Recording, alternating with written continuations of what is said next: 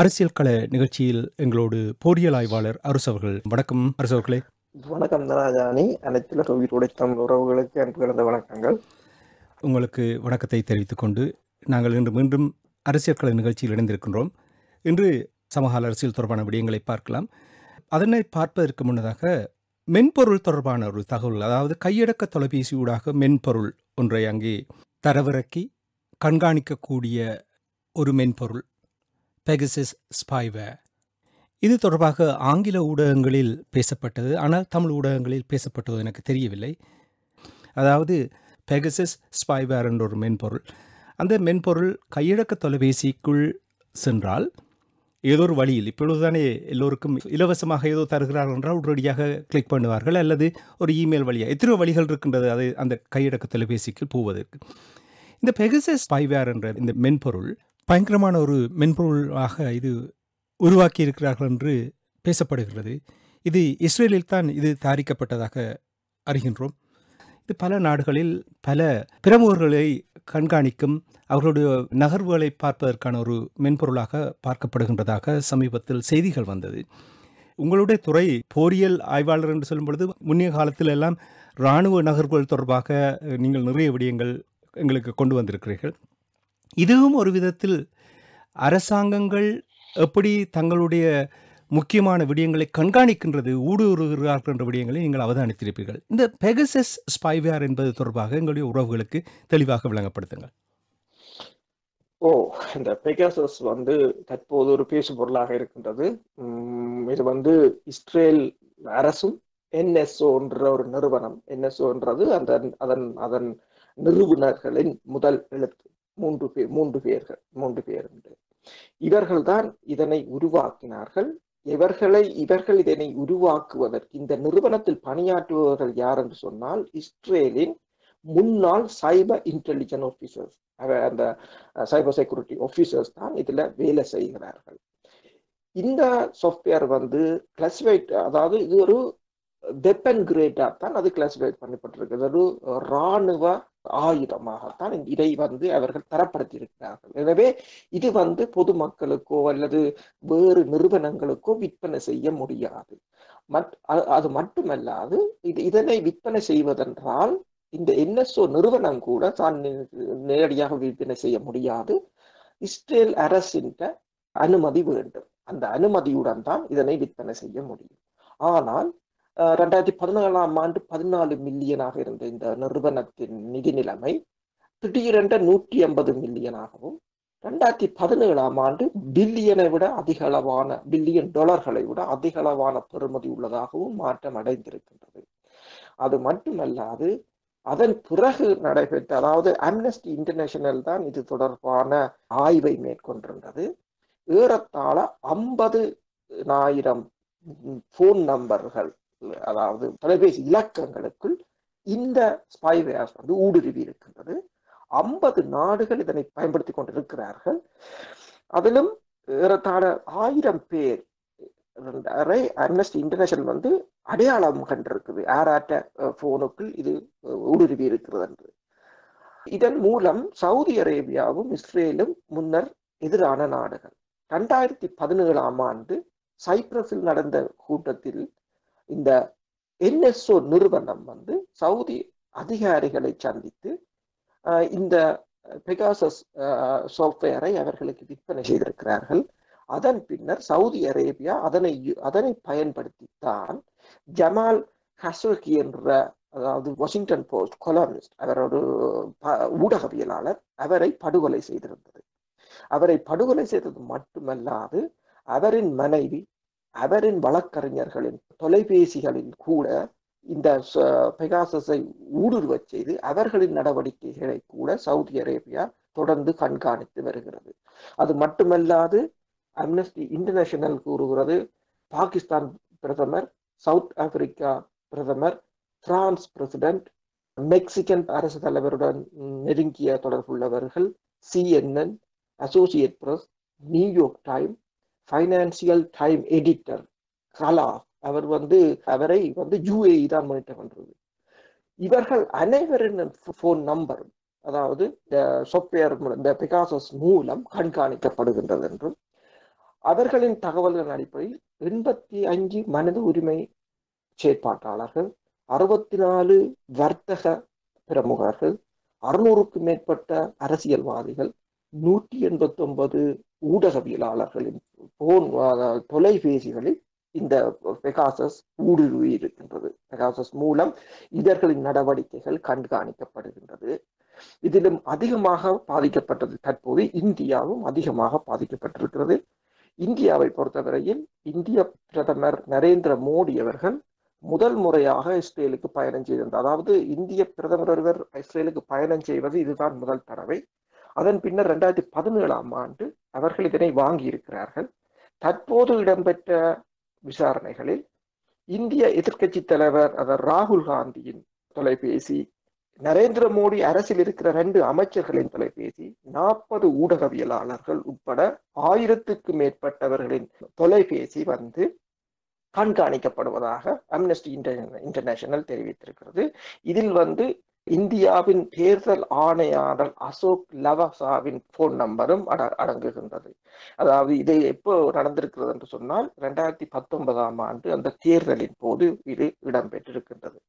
இதான் தற்போதுள்ள மிகப்பெரிய பிரச்சனை என்னவென்று சொன்னால் இந்த பெகாசஸ் பொறுத்தவரையில் இது வந்து ஒரு கொரோனா வைரஸ் மாதிரி தான் முதலில் உங்கள் போனில் இன்ஃபெக்ட் பண்ணியவுடன் அது இந்த போனின் பிரெயினை வந்து ஹேக் பண்ணிடும்.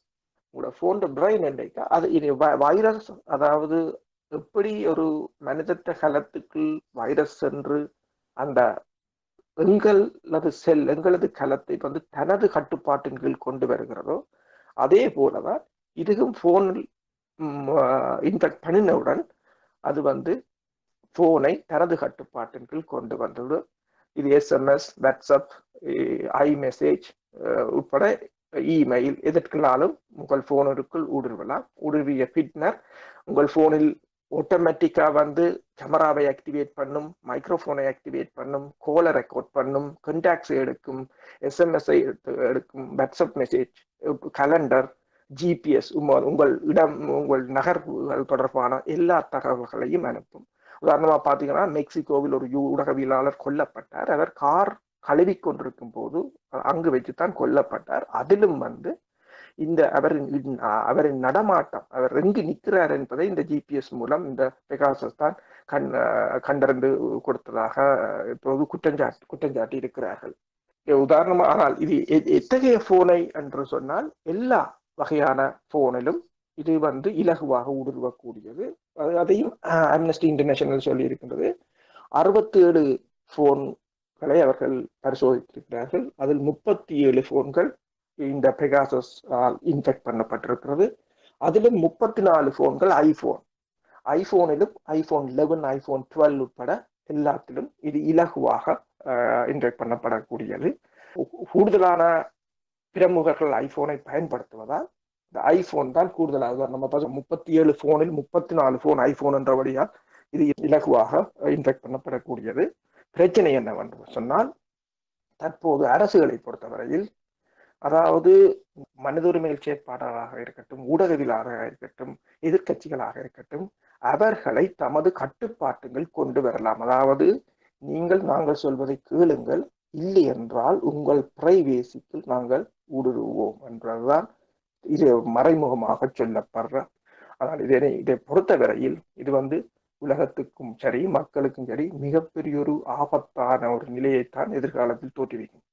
இந்த துறை சைபர் செக்யூரிட்டி அதாவது மென்பொருள் பாதுகாப்பு துறை என்னுடைய துறை அரசு அவர்களே இதுதான் என்னுடைய பணியும். இப்பொழுது நீங்கள் கூறும்பொழுது அதாவது ஊடுருவதற்கான வழிகள் இப்பொழுது கூறினீர்கள். எஸ்எம்எஸ் கூறினீர்கள் வாட்ஸ்அப் கூறினீர்கள் ஐமெசேஜ் கூறினீர்கள் இமெயில் வழியாக ஊடுருவிய பின்பு அங்கே அவர்கள் கண்காணிக்கக்கூடிய விடயங்கள் அதாவது எஸ்எம்எஸ் என்று சொன்னீர்கள். என்னென்ன யாரிடமிருந்து எஸ் எஸ்எம்எஸ் வந்திருக்கின்றது? இமெயில் யாரிடமிருந்து வந்திருக்கின்றது? யார் யாரோடு நீங்கள் உரையாடுகிறீர்கள்? வாட்ஸ்அப் சாட்டூடாக இனி உங்களுடைய படங்கள் வீடியோ படங்கள். உங்களுடைய மைக்ரோஃபோனை தண்ட பாட்டிலே அதை திறந்துவிடும். அதே மாதிரி கேமராவை தண்டபாட்டில் திறந்துவிடும். நீங்கள் தூங்கும் பொழுது கூட அது தண்டபாட்டிலே எல்லாத்தையும் பார்க்கக்கூடிய ஒரு விதத்தில் இருக்கும். இனி நீங்கள் உரையாடுகின்ற விடயங்கள் யாவற்றையுமே பதிவு செய்யலாம். இனி நீங்கள் கூறியது போல் எங்கெங்கெல்லாம் நீங்கள் செல்லுகிறீர்களோ ஜிபிஎஸ் டேட்டா அதை பார்க்க. இதில் ஒரு முக்கியமான ஒரு விடயம் என்னன்னு சொன்னால் சில வேளைகளில் இதை ஒரு தெளிவுபடுத்துவதற்காக நான் இதை கூறுகிறேன். ஜீரோ டே என்று சொல்லுவார்கள் அதாவது ஏற்கனவே தெரிந்த வைரஸ்களை வந்து நி- நிறுவனங்கள் எங்களுடைய நிறுவனம் பேரை கூற விரும்பவில்லை. எங்களுடைய நிறுவனங்கள் போன்ற நிறுவனங்கள் பல இருக்கின்றன. உலக நாடுகளில் என்னுடைய நிறுவனம் ஒரு அமெரிக்க நிறுவனம். அவர்கள் இதை ஒரு ஃபைலாக தயார் பண்ணுவார்கள். அதாவது எங்களுக்கு ஏற்கனவே தெரிந்த வைரஸினுடைய நி- பெயர்களை அங்கே ஒரு ஃபைலாக தயாரித்து அது வந்து கணினிகளில் அங்கே தரவிறக்கி இருப்பார்கள். அதாவது ஏற்கனவே தெரிந்த இந்த ஸ்பைவ வைரஸ் போன்றவை அங்கே ஊடுருவும் பொழுது அதை ஒரு தடுக்கும் ஒரு மெக்கானிசமாக ஒரு டிஃபென்ஸ் மெக்கானிசமாக இருக்கும். பாதுகாப்பிருக்கின்ற கையடக்க தொலைபேசிகளுக்கும் அதை இன்ஸ்டால் பண்ணி விடுவார்கள் இன்ஸ்டால் பண்ணால் என்றால் இப்படி ஊடுருவம் வரும்பொழுது அது தடை செய்யும். ஆனால் இந்த ஜீரோ டே என்பது இதற்கு முதல் ஒரு முறையும் காணாத ஸ்பைவே ரான்சம்வே வைரஸ் ஒரு ஒரு மென்பொருளாக இருக்கும். அதுதான் அந்த ஜீரோ டே என்று சொல்லுது. அது எப்படி உருவாகும் என்று சொன்னால் நான் நினைக்கிறேன் வீட்டை கட்டும் பொழுது பார்த்தீர்கள் என்றால் எத்தனையோ ஓட்டுகள் இருக்கும். எல்லா ஓட்டுகளையும் பார்த்து நீங்கள் கவனமாக அதை அடைக்காவிட்டால் ஏதோ ஒரு வழிக்குள் ஊடுருவக்கூடிய ஒரு நிலை உருவாகும். அதே போல் தான் மென்பொருளும். நீங்கள் இதை கேட்கும் பொழுது உண்மையிலே எனக்கு விட்டால் நான் நினைக்கிறேன் இரண்டு மூன்று மணித்தியால் நாங்கள் காய்ச்சி கொண்டு போகலாம் என்றால் இது ஒரு அற்புதமான ஒரு விடயம். இந்த பெகஸ் ஸ்பைவை இஸ்ரேலால் தான் உருவாக்கப்பட்டது. நீங்கள் கூறினீர்கள் சைபர் செக்யூரிட்டியில் இருந்தவர்களான அதை உருவாக்கிறார்கள் அவர்கள் அங்கே நிறைய பணத்தை செலவழிக்கின்றார்கள். கண்டுபிடிப்புகள் தொடர்பாக ஆராய்வு தொடர்பாக மென்பொருட்களை உருவாக்குவது தொடர்பாக. இது அங்கிருந்து உருவாகின என்றால் இது சட்டத்துக்கு முரணான ஒரு ஒரு வகையில் தான் இது செயல்பட்டிருக்கின்றதா? உண்மைதான். அதாவது இந்த இதனை வந்து இஸ்ரேலின் அனுமதி இல்லாமல் விற்பனை செய்ய முடியாது. அது மட்டுமல்லாது இது வந்து அது வந்து கிளாசிஃபைட் வந்து வெப்பன் கிரேடாக தான் அதாவது மில்டர் அதாவது இராணுவ பயன்பாட்டுக்கு தான் கிரிமினல்ஸையோ அல்லது டெரரிஸ்ட் ஆர்கனைசேஷன் என்று சொல்றது அல்லது அவ் அவ்வாறானவர்களை மொனிட்டர் பண்ணுவதற்காகத்தான் இது வடிவமைக்கப்பட்டது. அது அது அத- அதற்குத்தான் அவர்களுக்கு அப்படியானவர்களை கண்காணிப்பதற்காகத்தான் அதனை விற்பனை செய்யவும் முடியும். ஆனால் பிரச்சனை என்னவென்று சொன்னால் அம்னஸ்டி இன்டர்நேஷனல் மற்றது வாஷிங்டன் போஸ்ட் கார்டியன் இவை இவை இந்த பத்திரிகைகள் உட்பட இவர்கள் தான் இதனை வெளிக்கொண்டு வந்திருக்கிறார்கள். ஆனால் அவர்களின் கருத்தின்படி பார்த்தால் ஏறத்தாழ ஐம்பது நாடுகள் இதனை பயன்படுத்துகிறார்கள். ஐம்பதுனாயிரம் போன் நம்பர்களுக்கு இது ஊடுருவி இருக்கின்றது. அதிலும் ஆயிரம் பேரை அடையாளம் கண்டிருக்கிறார்கள். ஆயிரம் பேரில் வந்து யாரும் கிரிமினல்ஸ் கிடையாது யாரும் டெரரிஸ்ட் கிடையாது. ஊடுருவப்பட்ட ஆக்கள் நான் முன்னர் கூறிய லிஸ்டின்படி அரசியல்வாதிகள் ஊடகவியலாளர்கள் மனித உரிமை செயற்பாட்டாளர்கள் வர்த்தக பிரமுகர்கள் இவர்கள் அதாவது எதிர்க்கட்சி தலைவர்கள் இவர்கள் இவர்களைத்தான் முனைத்த பண்றது என்றபடியால் இது ஒரு உண்மையில் இதை பார்க்க போனால் இது ஒரு கிரிமினல் ஒஃபென்ஸாகத்தான் இதனை பார்க்க முடியும். அதாவது அதனைத்தான் அதாவது ராமன் சிங் என்றவர் ஆ- ஆசிய Pacific policy director, Asia Pacific policy director and global cyber security led தலைவர். அவர் கூறியிருக்கிறார் இது ஒரு கிரைம் என்று சொல்லி. இந்த கிரைம் வந்து இது நாடுகளாக இது அரசாங்கங்கள் கூடி இதுக்கு விதிவிலக்காக முடியாது. இது அதாவது ஒரு ம- மக்களை மானிட்டர் பண்ணுவது என்பது. அதே போலதான் சினோடன் நீங்கள் சினோடன் தெரியும். அவர் அமெரிக்காவின் நேஷனல் செக்யூரிட்டி ஏஜென்சியில வேலை செய்தவர். அது ரெண்டாயிரத்தி பதிமூன்றாம் ஆண்டு அந்த அமெரிக்காவின் அமெரிக்கா எவ்வாறு இந்த மானிட்டர் பண்ணுகிறது என்பது தொடர்பாக வெளியில் கூறியதால் அவருக்கு அவருக்கும் அமெரிக்காவுக்கும் இடையிலான முருகல் நிலை ஏற்பட்டது. தற்போது அவர் ரஷ்யாவில் வசிக்கின்றார். அவரும் கூறியிருக்கிறார் இதனை தடை செய்யாது விட்டால் இது வந்து மில்லியன் கணக்கான மக்களை மானிட்டர் பண்ணுவதற்கு மட்டுமல்லாது அந்த மக்களை ஒரு ஒரு அச்ச நிலைக்கு கொண்டு வந்து அரசாங்கங்கள் அவர்களை தமது கட்டுப்பாட்டுகள் கொண்டு வந்து அதாவது நீங்கள் நாங்கள் சொல்வதை கேளுங்கள். இல்லை என்றால் உங்கள் பிரைவேசிக்கு நாங்கள் ஊடுருவோம் என்ற ஒரு செய்தியை கொடுப்பதாக இருக்கும் என்று கூறியிருக்கிறார். அதே போலதான் இ ஐரோப்பிய ஒன்றியத்தின் ஆணையாளர் தலைவரும் கூறியிருக்கிறார். இது வந்து உறுதிப்படுத்தப்பட்டால் இது வந்து ஏற்றுக்கொள்ள முடியாது என்றுதான் கூறியிருக்கின்றார். உண்மையில் நீங்கள் கேட்டது போல இது வந்து ஒரு இல்லீகல் அதாவது இது சட்டவிரோதமானது ஒன்றுதான். அப்படி என்றால் இது தொடர்பாக நடவடிக்கை ஏதாவது எடுக்கப்படும் என்று நீங்கள் கருதுகிறீர்கள். என்றால் இங்கே நிறைய அரசாங்க நீங்கள் கூறிய பல பிரமுகர்கள் இங்கே இதில் ஈடுபட்டிருக்கின்ற இந்த நிலையில் இது தொடர்பாக எதுவும் சட்ட முயற்சிகள் எடுக்கப்படும் என்று நீங்கள் கருதுகிறீர்களா? அதைத்தான் எல்லோரும் வலியுறுத்துகிறார்கள். இது வந்து இதனை ஒரு இதனை தடை செய்ய வேண்டும் என்று கூறுகிறார்கள். அது மட்டுமல்லாது அல்லது இதை இதை இதை இதற்கு எதிராக சட்ட மூலங்களை சட்டங்களை மிகவும் இறுக்கமான நிலைக்கு கொண்டு வர வேண்டும் என்று கூறியிருக்கின்றார். உதாரணமாக ஜோன் ஸ்காட் என்றவர் வந்து சிட்டிசன் லேப் என்றது யூனிவர்சிட்டி ஆஃப் டொரண்டோவில் வேலை செய்கின்றார். அவரும் இதை இதைத்தான் சொல்கிறார் வந்து இது இது பெருமளவில் இதை வந்து டிஸ்ட்ரிபியூட் பண்றது வந்து ஒரு ஏற்றுக்கொள்ள முடியாது என்றுதான் கூறுகின்றார். ஏனென்றால் ஒரு இந்த மக்களின் சுதந்திரம் என்பது போகும்.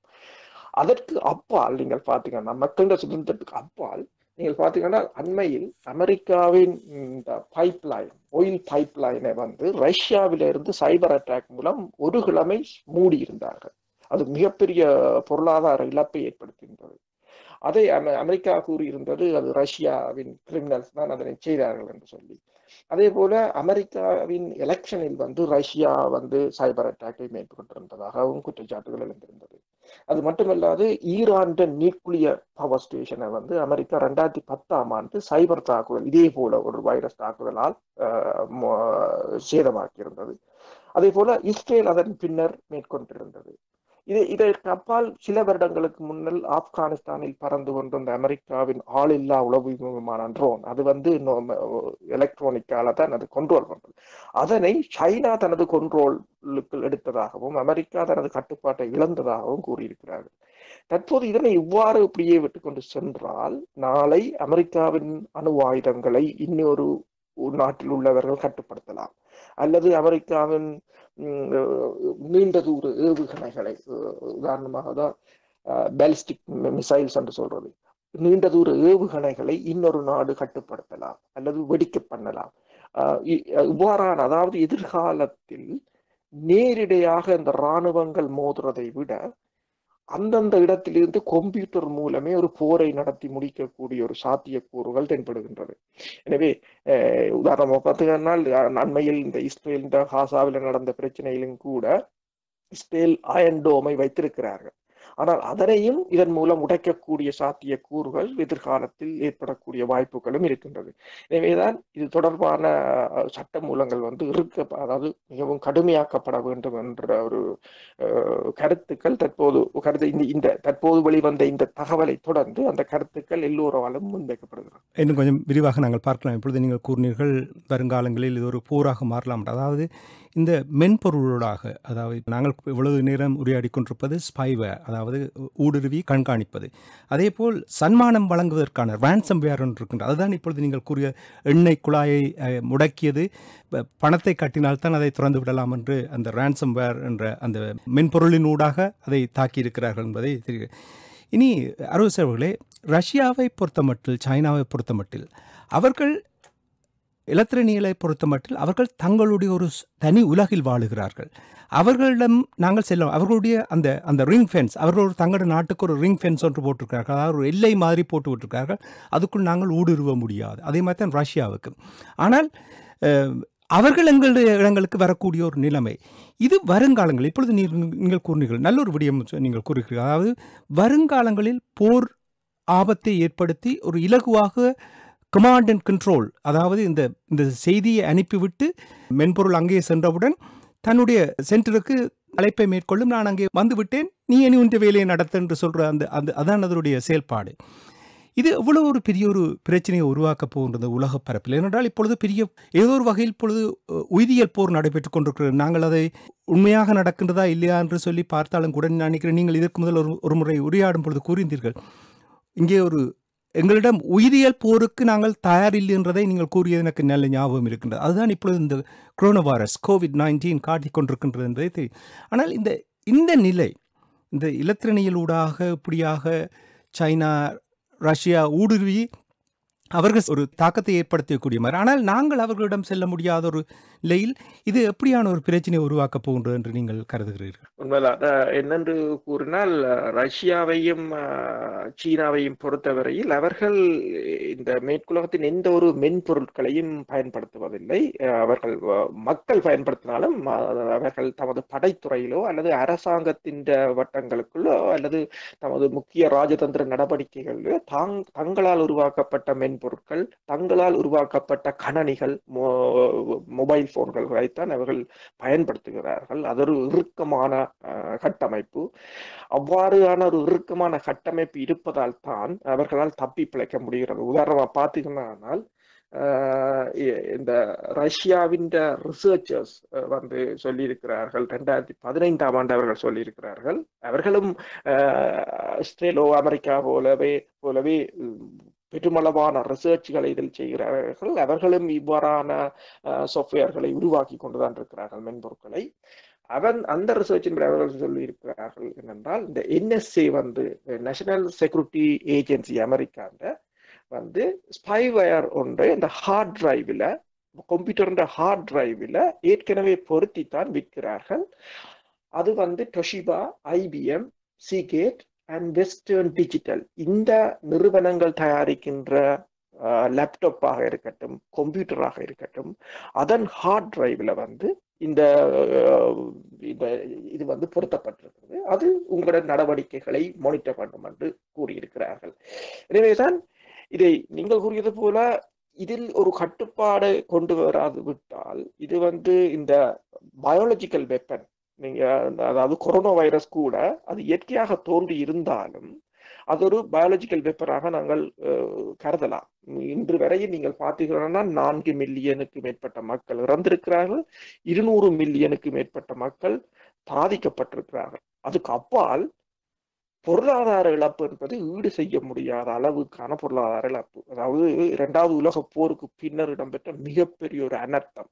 அதாவது சின்ன ஒரு கண்ணுக்கு தெரியாத வைரஸ் மூலம் இவ்வாறான ஒரு அனர்த்தத்தை உலகம் முழுவதும் நடந்து நடந்து முடியவில்லை நடந்து கொண்டு இருக்கின்றது இதே போலதான் இந்த அவர்கள் இருக்கும் இடத்திலிருந்து கொண்டு எங்கோல் எல்லோரிடமும் கையில் இருக்கின்ற மொபைல் போனாக இருக்கட்டும் கணனிகளாக இருக்கட்டும் எல்லாவற்றுக்கும் ஊடாகவே அவர்கள் ஒரு போரை நடத்தி முடித்து விடுவார்கள். இந்த மேற்குலகத்தை பொறுத்தவரையில் அவர்கள் இதில் தற்போது மிகப்பெரிய ஒரு எச்சரிக்கை நிலையை அடைந்திருக்கிறார்கள். அதனால் தான் பிரித்தானியா கூட அந்த ஃபைவ் ஜியை வந்து தடை செய்திருக்கிறது. இந்த சைனா சைனான்ற அதே போல அஹ், ஹுவாய் இந்த மொபைல் போன்களையும் அவர்கள் தடை அத- அதனை தடை செய்வது தடை செய்கிறார் இருக்கிறார்கள் என்று சொன்னால் இந்த சீனாவின் மென்பொருட்களாக இருக்கட்டும் ரஷ்யாவின் மென்பொ மென்பொருட்களாக இருக்கட்டும் அதனை அவர்கள் அதன் மூலம் அவர்கள் தமது பாதுகாப்பு துறையாக இருக்கட்டும் அல்லது அஹ், ராஜதந்திர வட்டாரங்களாக இருக்கட்டும் அல்லது வர்த்தகத் துறையாக இருக்கட்டும் அதற்குள் ஊடுருவார்கள் என்ற ஒரு அச்சம் அவர்கள் இவர்களுக்கு தற்போது தோன்றி இருக்கின்றது ரஷ்யாவை பொறுத்தவரை ரஷ்யா தெரியும். ரஷ்யா பாலஜிக்கல் வெப்பன் இந்த சைபர் வெப்பன்ஸுக்கு அப்பால் கெமிக்கல் அட்டாக் வந்து ரஷ்யா இவன் ரஷ்யா மிக அதிகம். உதாரணம் பார்த்தீங்கன்னா நேவ் ஏஜென்ட் ஏஜென்ட் மூலம் பிரித்தானியாவில் கூட இரண்டு தடவை தாக்குதல் நடத்தியிருக்கிறார்கள். அங்குள்ள எதிர்க்கட்சி தலைவருக்கு அவ்வாறான ஒரு தாக்குதலை மேற்கொண்டிருக்கிறார்கள்.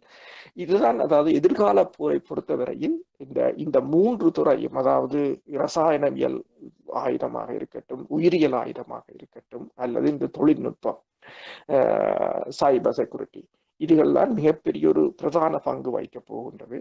இது தொடர்பான நடவடிக்கைகளை இந்த உலகம் அதனை தடை செய்ய வேண்டும். அல்லது அதற்கான கட்டுப்பாடுகளை விதிக்க வேண்டும். இல்லை என்றால் மிகப்பெரிய ஒரு அனர்த்தமாகத்தான் இருக்கும். கட்டுப்பாடுகளை விதிப்பதென்றால் எப்படி விதிக்கப் போகின்றார் என தெரியவில்லை. கட்டுப்பாடுகளை அவர்கள் கொண்டு வந்தாலும் கட்டுப்பாடுகளை மீறுபவர்களும் அவர்கள் தானே அவர்களுக்கென்று ஒரு சட்டம் மற்றவர்களுக்கென்று ஒரு சட்டம் தானே. இந்த சர்வதேச நாடுகளை பொறுத்தமட்டில் நாங்கள் பொறுத்திருந்து பார்ப்போம். நீங்கள் இப்பொழுது கூறிய விடயம் உண்மையான ஒரு விடயம். அதாவது என்சிஎஸ்சி இங்கே பிரித்தானியா பொறுத்தமட்டில் நேஷனல் சைபர் செக்யூரிட்டி சென்டர் இவர்கள் எல்லாரும் ஒரு முடிவெடுத்தது. ஹுவாவி நிறுவனத்தினுடைய அந்த இயந்திரங்களை வாங்காமல் விடுவதற்கான ஒரு முடிவு எடுத்ததற்கும் இவையெல்லாம் ஒரு காரணமாகத்தான் இருக்கின்றது. நீங்கள் கூறுவதை பார்க்கும் பொழுது வருங்காலங்களில் மெனும் பாரிய ஒரு இடையூறை ஏற்படுத்தக்கூடிய நிலைமையை உருவாக்கி கொண்டிருக்கின்றது என்பதையும் நாங்கள் இங்கே அவதானிக்கக்கூடியதாக இருக்கின்றது. சிறப்பாக உங்களுடைய அந்த ஆய்வினை தந்திருக்கிறீர்கள். பெகசிஸ் ஸ்பைவேர் தொடர்பான மென்பொருளின் நிலைமை தொடர்பாக எப்படியெல்லாம் ஒரு தாக்கத்தை கொண்டு வரப்போகின்ற விடயங்களை கொண்டு வந்ததற்காக நன்றி பொறியியல் ஆய்வாளர் அரசர்களே ஸ்ரீலங்காவை பொறுத்தமட்டில் என்ன விதமான நிலைப்பாடு இந்த பெகசிஸ் ஸ்பைவேர் தொடர்பாக? ஓ ஸ்ரீலங்காவை பொறுத்தவரையிலும் ஸ்ரீலங்காவிலும் உங்களுக்கு தெரியும் ஸ்ரீலங்கா அரசு அனைத்துலக சமூகத்தை புலம்பெயர் தேசத்தை பொறுத்தவரையிலும் எங்கும் தாயகத்திலும் தமிழ் மக்களின் நடவடிக்கைகளாக இருக்கட்டும் தம சிங்கள மக்களின் தற்போது தற்போது தனக்கு தோன்றி இருக்கின்ற எதிர்ப்பாளர்களாக இருக்கட்டும் அவர்களையும் மானிட்டர் பண்ணுவதற்குரிய சாத்தியக்கூறுகள் மானிட்டர் பண்ணி கொண்டிருக்கிறது என்ற தகவல்கள் தான் தற்போது கிடைத்திருக்கின்றது. ஆனால் இதனை உறுதிப்படுத்துவது போல மார்ச் மாதம் இந்த வருடத்தின் மார்ச் மாதம் இருபத்தி நாலாம் தேதி வந்து அமைச்சர் அதாவது ஹெரின் பெர்னாண்டோ வந்து நாடாளுமன்ற உறுப்பினர் அவர் வந்து பாராளுமன்றத்தில் ஒன்றை கூறியிருக்கிறார் ஸ்ரீலங்கா அரசு இந்த பெகாசஸ் ஸ்பைவேரை வந்து வாங்கி இருக்கிறது என்று. ஆனால் அப்போது இந்த இந்த இந்த பிரச்சனை வெளியில் வராதபடியால் அது வந்து அஹ், அதற்கு அதை பெருசாக எடுக்கவும் இல்லை. ஆனால் அதனை அதை அது அது தொடர்பாக அரசு அதை வா இல்லையோ ஓம் என்று கூட அதற்கான பதிலை வழங்க வழங்கவில்லை. அதன் பிறகு நீங்கள் பார்த்தீர்கள் இந்த ஐக்கிய நாடுகள் சபையில் இந்த வன்முறையால் பாதிக்கப்பட்டவர்களுக்கான தினம் அண்மையில் வந்திருந்தது. அந்த தினத்தில் ஒரு வன்முறைய ஸ்ரீலங்கா அரசின் வன்முறையால் பாதிக்கப்பட்டவர்களுக்கு ஆதரவாக ஒரு ஒரு ஆர்ப்பாட்டம் ஒன்று ஒழுங்கு செய்யப்பட்டிருந்தது. அந்த ஆர்ப்பாட்டம் மிகவும் இரகசியமாகத்தான் ஒழுங்கு செய்யப்பட்டிருந்தது. அன்று அடுத்த நாள் அன்றைய தினம் திடீரென்று ஒரு ஆர்ப்பாட்டத்தை செய்வதற்கு. ஆனால் அன்று இரவே அந்த ஆர்ப்பாட்டத்தை ஒழுங்கு செய்த வரை வெள்ளை வேனில் வந்து கடத்தி சென்று விட்டார்கள்.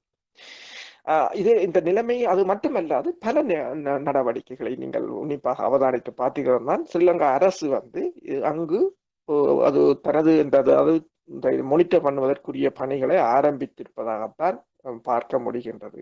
எனவேதான் நீங்கள் பார்த்தீங்கன்னா இந்த இந்த ஐக்கிய நாடுகள் சபையின் மனிதரிமைகள் ஆணைக்குழுவின் தீர்மான நிறைவேற்றத்திற்கு வந்து ஆதரவுகளை தேடி மேற்குலக நாடுகள் ஏனைய நாடுகளின் தூதுவங்களுடன் கதை கலந்துரையாடும் போது அவர்கள் எலக்ட்ரானிக் டாக்குமெண்ட் எலக்ட்ரானிக் முறைகள் ஒன்றையும் அதாவது இலத்திரனியல் தொடர்பாடல் முறை ஒன்றையும் பயன்படுத்தவில்லை. அவர்கள் நேராக சென்று கதைத்துத்தான் ஒவ்வொரு தூதுவர தூதாரங்களுக்கு நேராக சென்று கதைத்துத்தான் ஆதரவை திரட்டியிருந்தார்கள். ஏனென்றால் ஒட்டு கேட்கப்படும் என்று அவர்களுக்கும் தெரியும். எனவே இது வந்து தமிழ் மக்களை பொறுத்தவரையில் இது அவதானமாக இருக்க வேண்டிய ஒரு காலகட்டம். ஏனென்றால் இந்தியா இதனை வாங்கி இருக்கின்றது. இந்தியாவில் இது தாராளமான ஆஹ், இந்தியா இது ஒரு மிகப்பெரிய நெருக்கடியை அங்குள்ள மக்களுக்கு ஊடகவியலாளர்கள் மனிதனுரிமை செயற்பாட்டாளர்கள் எதிர்த்தரப்புகளுக்கு மே- நெருக்கடியை ஏற்படுத்தியிருக்கின்றது. ஸ்ரீலங்காவிலும் இவ்வாறான ஒரு நிலை தென்படுகிறது என்றபடியா இந்த புலம்பெயர் தேசத்தின் நடவடிக்கைகளாக இருக்கட்டும் அதாவது ஸ்ரீலங்கா அதாவது எமது விடுதலைக்கான நமது எமது நீதி கோரலுக்கும் எமது மக்களின் உரிமைக்கான போராட்டங்கள் தொடர்பான எமது நடவடிக்கைகளும் இலகுவாக அவதானிக்கப்படக்கூடிய ஒரு வேத தென்படுகின்றது எனவே நாங்கள் இதிலும் எச்சரிக்கையாகத்தான் செய்யப்பட வேண்டும். நீங்கள் இப்பொழுது கூறிய சம்பவம் அதாவது வெள்ளை வேனில் கடத்திய சம்பவம் தொடர்பாக நாங்கள் உரையாடிந்தோம் அதாவது ஒருவரை கைது செய்வதாக இருந்தால் இரண்டு மூன்று பேர் போனால் பரவாயில்லை. ஆனால் ஒரு பதினைந்து காவல்துறை வாகனங்கள் அங்கே சென்று அவரை வெள்ளை வேனில் கடத்தி சென்றார்கள். உடனடியாக மகள் அங்கே இருந்தவர்கள் படத்தை எடுத்து சமூக வலைத்தளங்களில் போட்டவுடன் உடனடியாக குத்துக்கரணம் அடித்து சொல்லிவிட்டார்கள். இல்லை இல்லை நாங்கள் அவர்களை கைது செய்திருக்கின்றோம் என்று சொல்லி. நீங்கள் கூறுவது எனக்கு நல்ல ஞாபகம் இருக்கின்றது அந்த சம்பவத்தையும். நன்றி. அதை அந்த விடயத்தையும் கொண்டு வந்து ஏனென்றால் அவர் நீங்கள் சொன்னது போல் ஒரு கவனமாக பக்குவமாக ஒழுங்கு செய்வதற்கு முயற்சி செய்யும் பொழுது இப்படி ஒன்று நடந்திருக்கின்ற நிச்சயமாக இந்த கண்காணிக்கும் ஒரு கருவியின் ஊடாகத்தான் இதை அவர்கள் அவதானித்து ஒரு முடிவுக்கு வந்திருப்பார்கள் என்பதை இங்கே உறுதிப்படுத்துகின்றது. நன்றி போரியல் ஆய்வாளர் அரசவர்களே தொடர்பான விடயங்களை சிறப்பாக இங்கே நிறைய விடயங்களை கொண்டு வந்ததற்காக உங்களுக்கு நன்றி கூறிக்கொண்டு இனி இலங்கை தீவில் நடைபெறுகின்ற சில அரசியல் நகர்வுகள் தொடர்பான விடயங்களை பார்க்கலாம். இனி அங்கே எங்களுடைய மக்கள் எடுக்கின்ற போராட்டங்கள் தொடர்பாக சமீபத்தில் பார்த்தீர்கள் என்றால் தெற்கில் நிறைய போராட்டங்கள் சின்ன சின்ன போராட்டங்கள்லாம் நடைபெற்று கொண்டு வருகின்றது. அங்குள்ள ஊடகவியலாளர்களுடன் சிலர்களுடைய கருத்துக்களை பார்க்கும் பொழுது மக்கள் ஒரு அதிருப்தியில் இருக்கின்றார்கள். இந்த ராஜபக்ஷ குடும்பத்தின் ஆட்சியின் ஊடாக வாக்களித்த மக்களே ஒரு அதிருப்தியில் இருக்கின்ற ஒரு நிலைமையை உருவாக்கி இருக்கின்றதா அதன் பிரகாரம் தான் அங்கே தெற்கில் எல்லாம் அங்கே ஆங்காங்கே இப்போ போ போராட்டங்கள் நடைபெறுகின்றது. அதேபோல் வடக்கு கிழக்கையும் எடுத்து பார்க்கும் பொழுது நேற்று கருப்பு ஜூலாய் ஆடி இன அழிப்பு இறந்தவர்களை நினைவு கூறுகின்ற வகையில் அங்கே நிறைய இடங்களில் கவனிப்பு போராட்டங்கள் நடைபெற்றது. இனி கனடாவினுடைய பிரதமர் ஜஸ்டின் ட்ரூடா அவர்கள் கூட ஆறாத வடு முப்பத்தி எட்டு ஆண்டுகள் இந்த இன அழிப்பு நாள் அன்று அந்த எண்பத்தி மூன்று கலவரம் இன அழிப்பு நாள் அந்த இன அழிப்பின் பொழுது இறந்தவர்களை நினைவு கூர்ந்ததாக கூட ஒரு ஊடகங்களில் வந்த செய்திகளை பார்த்திருந்தேன். இது தொடர்பாக அங்குள்ள நிலைமைகளை நீங்கள் எப்படி அவதானிக்கிறீர்கள்? இந்த ஸ்ரீலங்காவை பொறுத்தவரையில் தற்போது வந்து இந்த குடும்ப ஆட்சி அங்கு வந்து குடும்ப ஆட்சி இந்த ராஜபக்ஷா இந்த குடும்ப ஆட்சி ராஜபக்ஷாக்களின் குடும்ப ஆட்சி வந்து இப்போது சிங்களவர்களுக்கு மிகப்பெரிய ஒரு நெருக்கடியாக மாறி இருக்கின்றது அதாவது அது அதற்குரிய காரணம் வந்து அங்கு ஏற்பட்டு இருக்கின்ற இந்த பூகோள அரசியல் நிலைமை அதன் அதன் தொடர்ச்சியாக ஸ்ரீலங்கா சந்தித்திருக்கின்ற மிகப்பெரிய பொருளாதார வீழ்ச்சி. இவை சிங்கள மக்களின் வாழ்வாதாரத்தை பாதிக்கும் போது தற்போது சிங்கள மக்களும் அதற்கு எதிராக போராட வேண்டிய ஒரு நிலை ஏற்பட்டிருக்கின்றது. அண்மையில் கூட நீங்கள் பார்த்திருப்பீர்கள் பதினாலு தொழிற்க தொழிற்சங்கங்கள் அந்த போராட்டத்தை ஆரம்பித்திருக்கிறது. ஸ்ரீலங்கா அரசு ஆனால் கோவிட் அஹ், நெருக்கடியை காரணம் காட்டி அதனை தடுத்து வருகின்ற போதும் இந்த கோவிட் நெருக்கடி ஒரு தனிவு நிலைக்கு வரும்போது ஸ்ரீலங்கா அரசு மிகப்பெரிய ஒரு நெருக்கடியை சந்திக்கக்கூடிய ஒரு சாத்தியக்கூறுகள் தான் இருக்கின்றது அஹ் ஆனால் இந்த நிலையில் ஸ்ரீலங்கா அரசு தன்னை பாதுகாப்பதற்காக சிங்கள மக்கள் மீதும் தனது வன்முறைகளை கட்டவிழ்த்து விடக்கூடிய ஒரு நிலைதான் ஏது நிலைகள் தான் அங்கு ஏற்படு ஏற்பட்டிருக்கின்றது. அதனைத்தான் தென்னிலங்கையில் இருக்கிற ஆய்வாளர்களும் சரி அங்கு இருக்கின்ற ஊடகவியலாளர்களும் சரி மனித உரிமை செயற்பாட்டாளர்களும் சரி அவர்களும் அதனைத்தான் கூறு கூறுகிறார்கள். மறுபலமாக இங்கே பார்த்தீர்களானால் தமிழ் மக்களை பொறுத்தவரையிலும் தமிழ் மக்களும் தற்போது ஒரு அதாவது இங்கு போராட்டங்கள் வந்து வடக்கு கிழக்கில் இடம்பெற்ற இதாவது அதாவது ஜூலை இரு ஜூலை மாத இன அழிப்பு தொடர்பாக ஸ்ரீலங்கா அரசு மேற்கொண்ட அந்த கருப்பு ஜூலை இன அழிப்பு தொடர்பான அந்த நினைவு நிகழ்வுகள் அங்கு நடைபெற்றிருக்கின்றது. நீங்கள் பிரித்தானியா பார்த்தீங்கன்னா இங்கும் கூட பெருமளவான மக்கள் தற்போது முன்னர் கூட ஒப்பிடும் போது பெருமளவான மக்கள் கலந்து கொண்டிருக்கிறார்கள். நீங்கள் கூறியது போல இந்த கனடா பிரதமரும் அது தொடர்பாக கருத்துக்களை வெளியிட்டிருக்கிறார்கள். இந்த அதாவது இதற்கு இதன் அர்த்தம் என்னென்று சொன்னால் அந்த ஒரு முனைவாக்கம் தமிழ் மக்களுக்கும் சிங்கள மக்களுக்கும் இடையிலான அந்த பிளவுகள் அந்த அதாவது சிங்கள தேசத்துடன் ஒன்றிணைந்து வாழ முடியாது என்ற கருத்துருவாக்கம் மேலும் மேலும் வலுப்பெற்று கொண்டு போவதாகத்தான் பார்க்க முடியும். ஆனால் இதனை பயன்படுத்துவதற்கு தான் இந்த பூகோள அரசியல் நலன்சார் சக்திகள் உதாரணமாக பார்த்தீங்கன்னா வெளிநாடுகள் அதற்கு அதற்கு அதனை தமக்காக பயன்படுத்தக்கூடிய ஒரு ஏதுநிலையைத்தான் அவர்கள் ஏதுநிலை நோக்கித்தான் அவர்கள் காத்திருக்கிறார்கள். உதாரணமாக பார்த்தீங்கன்னா ஆயிரத்தி தொள்ளாயிரத்தி எண்பத்தி மூன்றாம் ஆண்டு இந்த கலவரம் இட இடம்பெற்ற போது அன்றைய பூகோள அரசியலில் வந்து இந்தியாவும் மேற்குலகமும் தான் எதிரெதிர் முனையில் இருந்தன. அதாவது ஸ்ரீலங்காவில் கால் ஊன்றுவதற்குரிய ஏது நிலைகள் தொடர்பாக மேற்குலகம் தீவிரமாக செயற்பட்டுக் கொண்டிருந்தது. அது திருவோணமலையில் ஆஹ், தளம் அமைப்பதற்குரிய வரைபடங்களை கூட அவர்கள் தயாரித்து விட்டார்கள். ஆனால் அதனை எதிர்க்கும் நிலையில் தான் இந்தியா இருந்தது. அந்த அஹ், நீங்கள் அன்று ஒரு ஒன்றை பார்க்கலாம். ஆஹ், இந்திரா காந்தி அம்மையார் அர்ஜென்டினாவுக்கு ஊடாக இந்த தமிழ் மக்கள் கொல்லப்பட்டதற்கு எதிராக ஸ்ரீலங்கா மீது நடவடிக்கை வேண்டும் என்று கூறி அர்ஜென்டினா ஊடாக ஸ்ரீலங்காவுக்கு எதிராக ஐக்கிய நாடுகள் சபையின் பாதுகாப்பு சபையில் ஒரு தீர்மானத்தை கொண்டு வந்திருந்தார். அந்த தீர்மானம் எட்டு வாக்குகளால் தோற்கடிக்கப்பட்டு விட்டது. ஆனால் அவர் அதை கொண்டு வந்திருந்தார். மறுபலமாக பார்த்தீங்கன்னா இந்த ஸ்ரீலங்காவில் இடம்பெற்ற இந்த படுகொலைகள் அப்போது அவர்கள் இனப்படுகொலை என்று கூறவில்லை படுகொலைகள் தொடர்பாக விசாரணை வேண்டும் என்று கூறி ஐம்பத்தி மூன்று நாடாளுமன்ற உறுப்பினர் பிரித்தானியாவின் நாடாளுமன்ற உறுப்பினர்கள் கையெழுத்திட்டு அனுப்பியிருந்தார்கள். அந்த ஒரு நிலை அப்போது இருந்த அந்த ராஜதந்திர நிலை ஆனால் பிறகு என்னென்று அற்று போய்விட்டது என்னென்றது இல்லாமல் போனது என்பது தொடர்பாக இன்று வரை ஒருவருக்கும் ஒன்றும் தெரியவில்லை. அதனை அந்த நிலையை ஏன் நம்மால் தக்க வைக்க முடியவில்லை? என்ற ஒரு கேள்வி இப்போதும் நமக்குள் இருக்கின்றது. ஆனால் அதே போல ஒரு சூழ்நிலை தான் தற்போது தற்போது ஏற்பட்டிருக்கின்றது. தற்போதைய நிலையும் அது அவ்வாறான ஒரு சூழ்நிலை. ஆனால் வித்தியாசம். இந்தி- தற்போது சீனா இந்தி இந்தியா மேற்குலகம் என்ற ஒரு மு முக்கோண நிலைக்கு வந்திருக்கின்றது. இந்த நிலையாவது நாங்கள் சரியாக பயன்படுத்துவோமா என்றால் நமக்கு ஒரு தெளிவான வெளியுறவு கொள்கை வேண்டும். அந்த வெளியுறவு கொள்கையை நாங்கள் தெளிவாக வகுப்பது மட்டுமல்லாது அதனை இந்த நாடுகளுக்கு விஸ்தரிப்போமாக இருந்தால் நாங்கள் இந்த தடவை அதனை நமக்கு நமக்கு ஒரு சாதகமாக பயன்படுத்த முடியும். இன அழிப்பு பல வடிவங்களில் வருகின்றது. அதன் ஒரு வடிவம்தான் ஆடி எண்பத்தி மூன்றாவது அந்த கலவரம். அது இன அழிப்பின் ஒரு இன்னொரு வகை. எத்னிக் கிளென்சிங் இல்லையா? ஆங்கிலத்தில் கூறுவார்கள். இன்னும் ஒரு விடயத்தை கேட்டுக்கொண்டு நாங்கள் நிகழ்ச்சியை இன்று கொண்டு வருவோம். போன வாரம் நான் உங்களோடு உரையாடும் பொழுது அரசு அவர்களே பதிமூன்று நாடாளுமன்ற உறுப்பினர்கள் வீதியில் வர வேண்டும். அவர்கள் எங்களுடைய மக்களுக்கு ஒரு பாதுகாப்பு கொடுத்து இந்த போராட்டத்தை முன்னெடுத்தி செல்வதற்கான நேரம் வந்துவிட்டதா என்று நான் உங்களிடம் கேட்டிருந்தேன். அதேபோல் நாடாளுமன்றத்தில் கஜேந்திரகுமார் பொன்னம்பலம் அவர்கள் சரியான பாதையில் நீங்கள் செல்லாவிட்டால் மக்கள் வீதியில் இறங்கி போராடுவார்கள் என்று அவர் கூறியிருக்கிறார். அதேபோல் நீதியரசர் சி வி விக்னேஸ்வரன் அவர்கள் ஒரு காட்டமான ஒரு அறிக்கையை முன்வைத்திருக்கின்றார். அதாவது வடக்கு கிழக்கில் இருக்கின்ற மாகாணங்களில் இருக்கின்ற அதிகாரங்கள் எல்லாவற்றையுமே அரசு மெது மெதுவாக சுரண்டி எடுத்துவிட்டு ஒரு மாகாண சபையை உருவாக்குவது போல் ஒரு மாயையை கொண்டு வரப்போகின்ற ஒரு நிலைமையை உருவாக்கி இருக்கிறதுக்கு இது தொடர்பாக சட்ட நடவடிக்கை எடுக்கப் போவதாக செய்திகள் வந்திருந்தது. இது நாங்கள் போன வாரம் கேட்டது போல் இப்பொழுது ஏற்பட்டிருக்கின்ற இந்த சூழல் இலங்கை தீவில் ஏற்பட்டிருக்கின்ற இந்த சூழல் சர்வதேச நாடுகளினுடைய நிலைப்பாடுகள் இவை எல்லாவற்றையும் பார்க்கும் பொழுது இது ஒரு ஒரு நல்லொரு தருணமாக நீங்கள் பார்க்கிறீர்கள். நல்லொரு சந்தர்ப்பமாக பார்க்கிறீர்கள். மக்கள் வீதியில் இறங்கி எங்களுடைய நீதிக்கான போராட்டத்தை முன்னெடுப்பதற்கு ஒரு நிலை வந்திருக்கின்றது என்று நீங்கள் கருதுகிறீர்களா? உண்மைதான். அதாவது இந்த அரசியல் கட்சிகள் வந்து அவர்கள் கூறுவதோடு நிற்- நிற்காமல் இந்த மக்களை ஒருங்கிணைத்து ஒரு போராட்டத்தை மேற்கொள்ள வேண்டும்.